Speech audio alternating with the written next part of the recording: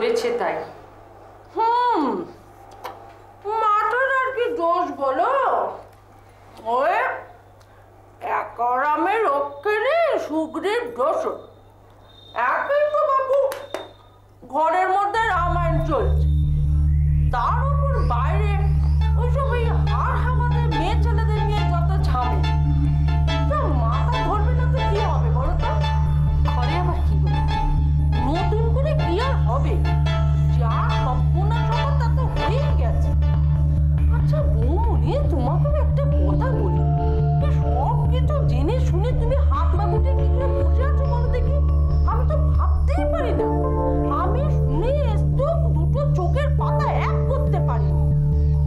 শুনে থেকে কিসের কথা বলছেন তুমি কে গো বৌমনি? তোমাকে একটা কথা জিজ্ঞেস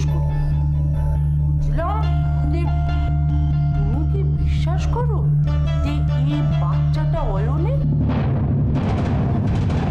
আচ্ছা হিসেব করে দেখো না মানে যে সময়টা হারিয়ে সেই সময়ের আগে কি বাচ্চাটা পেটে এসেছিল?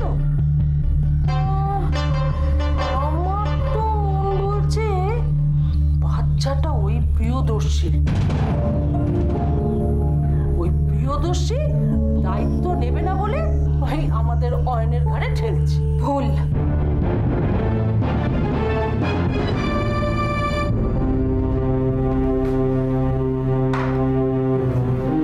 আপনি যা বলছেন, তা পুরোটাই কাল্পনিক আর আপনার মন গড়া কথা।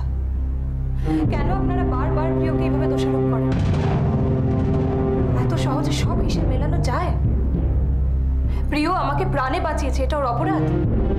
আপনাদের সবার মধ্যে ফিরিয়ে এনেছে। এটা ওর অপরাধ মা। আজ আমার মনে হচ্ছে আপনাদের সবার মধ্যে ফিরে আসাটাই ভুল হয়েছে আমার। তাকি তাকি তুমি খুব এক্সাইটেড হয়ে যাচ্ছ। দিদি কি বলেছে? তেমন কিছু তো বলেননি। তেমন কিছু বলেননি? একটা মেয়ের সম্পর্কে এর থেকে আর খারাপ কথা কি বলা যায় মা?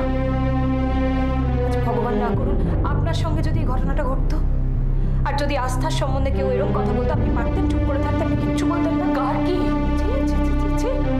নিজের সম্বন্ধে কেউ এমন কথা বলে? আমিও তো ঠিক একই কথা বলছি, পিসি। আপনারা নিজের লোক হয়ে আমার সম্বন্ধে কি করে এসব কথা বলছেন? আমি যখন হারিয়ে গিয়েছিলাম, আমার যখন কোনো স্মৃতি ছিল না যখন জানতাম না আমি কে, কোথা থেকে এসেছি। তখন একজন ডাক্তার হিসেবে প্রিয় আমার চিকিৎসা করতে গিয়ে আবিষ্কার করে যে যে আমি গর্ভবতী। ও যদি চাইতো, ও আমার এই অসহায় অবস্থার সুযোগ নিতেই পারতো। কিন্তু সেটা ও কখনো করেনি। উল্টে সারাক্ষণ চেষ্টা করে গেছে আমার অতীত ও চেয়েছিল আমি পুরোপুরি সুস্থ হয়ে যাওয়ার পর আমায় গ্রহণ করতে।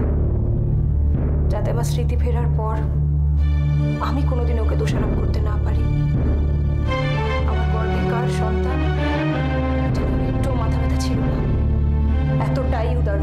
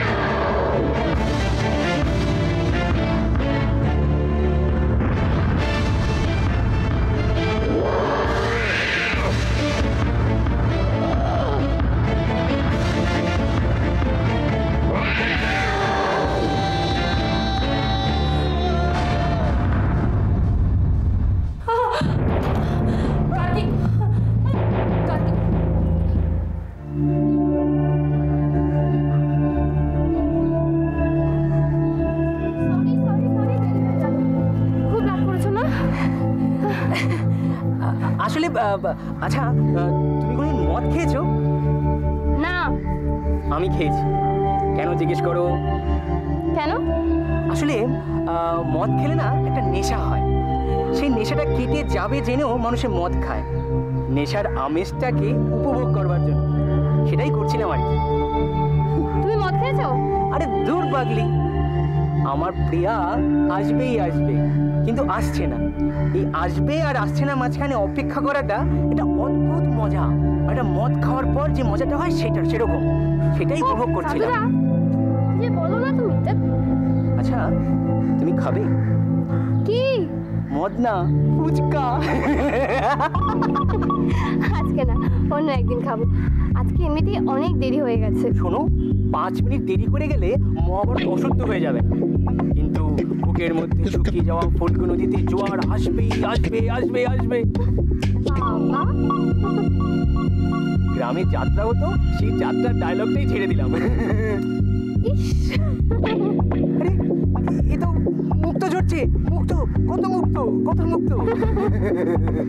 তুমি না তুমি থামবে শোনো না শোনো না। তোমার জন্য না ওই ফুচকালাটাকে অনেকক্ষণ ধরে অপেক্ষা করিয়ে রেখেছি। ওকে একটু দয়া করো ওকে একটু দয়া করো।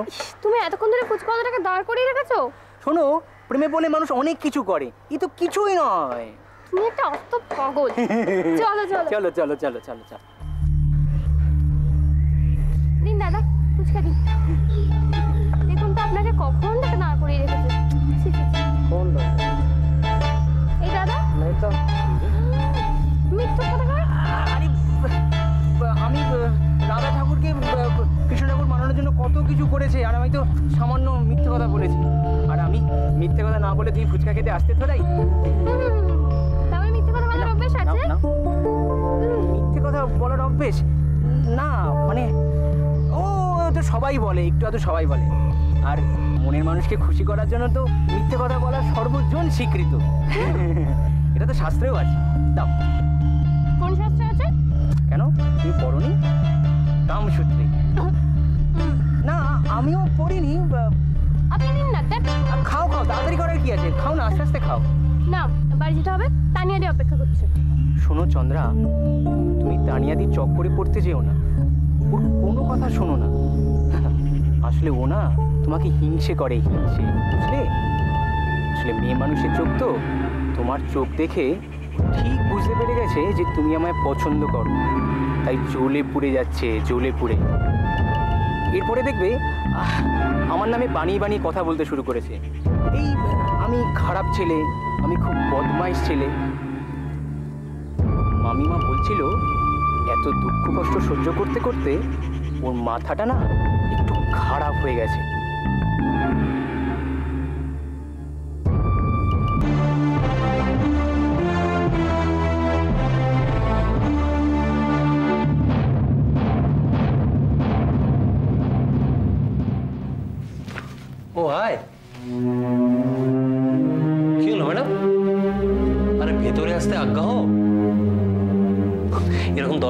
দাঁড়িয়ে থাকলে যাওয়া আসার পথে তো অ্যাপার্টমেন্টের লোকজনেরা দেখতে পাবে।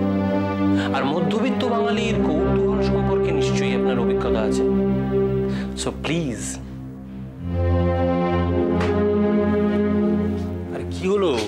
আসুন।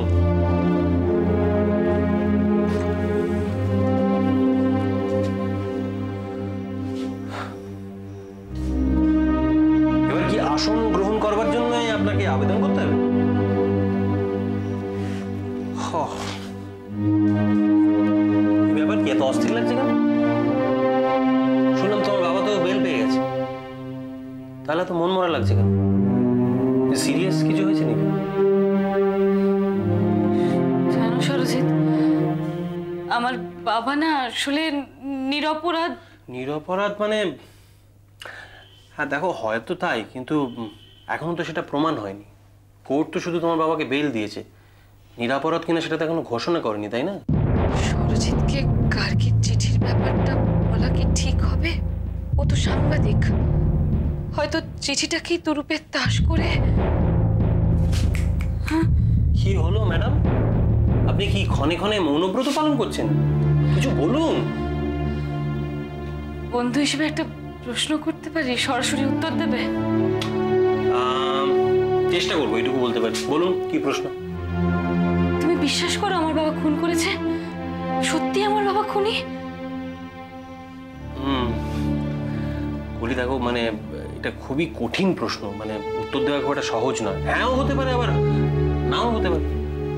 একটা প্রশ্নের তো উত্তর হয় কি? হয়। হয় কৃষ্ণকলি বসু হয়।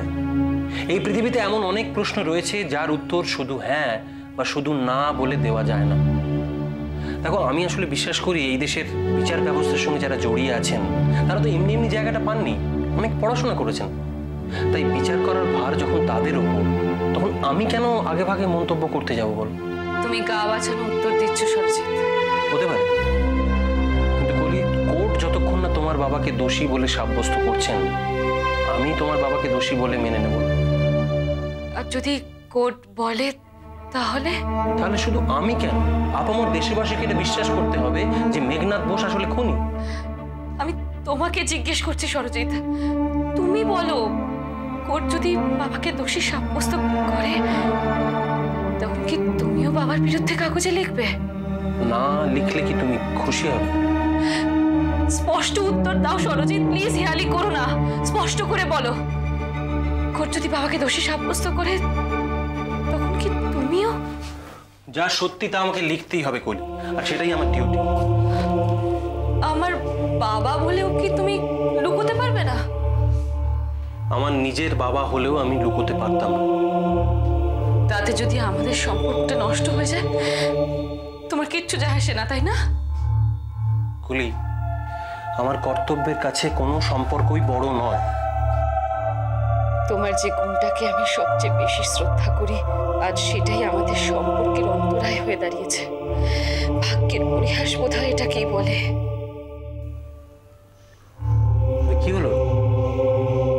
আবার স্বপ্নের জগতে চলে গেলে নাকি?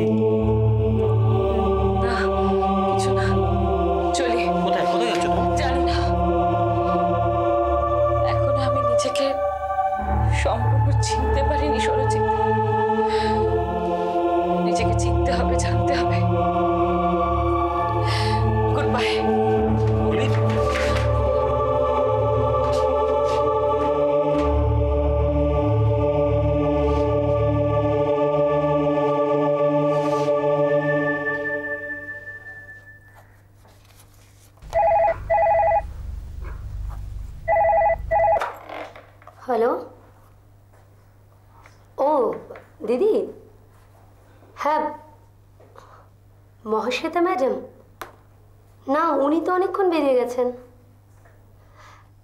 হ্যাঁ আমিও বেরোবো। আসলে আমি একটু অপেক্ষা করছি, ওই চন্দ্রা অনেকক্ষণ বেরিয়েছে। ও এখনও ফেরেনি। ও গেছে ওই ছাব্বিশ নম্বর বস্তিতে, আমরা যে দুস্থ মহিলাদের জন্য টাকা দিয়েছিলাম না? হ্যাঁ সেই টাকাগুলোতে ঠিকঠাক কাজকর্ম করল কিনা সেটা দেখতে গেছে চন্দ্রা। হ্যাঁ অনেকক্ষণ গেছে, একটু চিন্তা হচ্ছে। না না, আপনি টেনশন করবেন না। ও এলে আমি ওকে নিয়ে বিনোদিনী বন্ধ করে তবেই বাড়ি ফিরবো। হ্যাঁ হ্যাঁ ঠিক আছে। রাখি?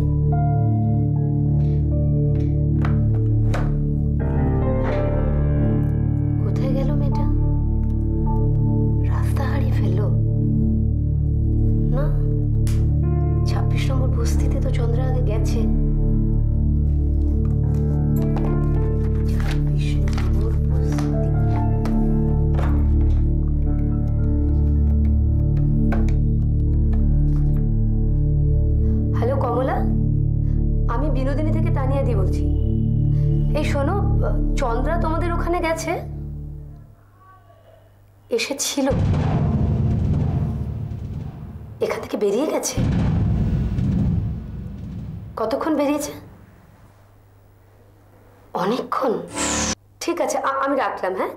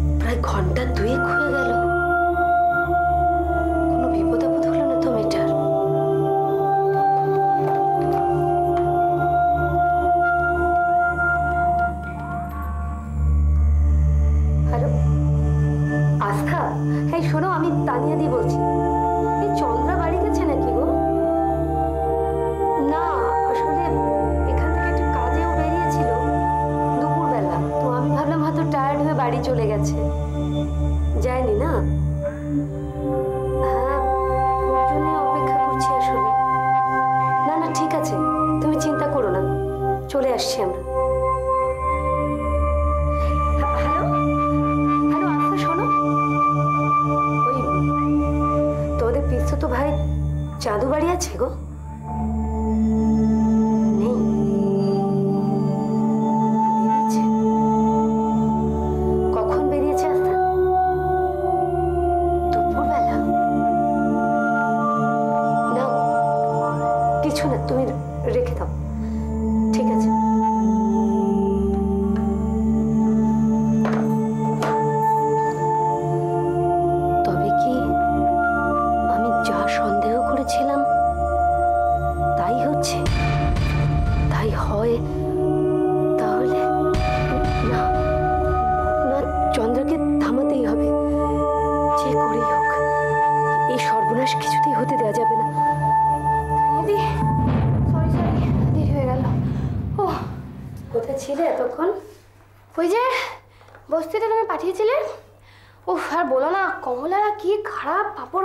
না?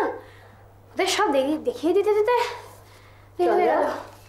হ্যাঁ আমি যদ্দূর শুনেছিলাম তুমি মিথ্যে কথাটা বলো না। কোথায় ছিলে? কেন? ওখানে ওখানে। আচ্ছা, কখন বেরিয়েছো ওখান থেকে? এই তো এক্ষুনি। বেরিয়ে সোজা তোমার কাছে ছুটতে ছুটতে এসছি। দেখো না। আমি ফোন করেছিলাম কমলা। তোমার দেরি হচ্ছে দেখে। কমলা বললো ঘন্টা দুয়েক হয়ে গেল তুমি ওখান থেকে বেরিয়েছো কোথায় ছিলে